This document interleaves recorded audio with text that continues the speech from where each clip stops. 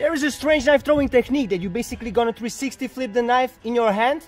You can throw it towards the target and stick it. How would you name this technique?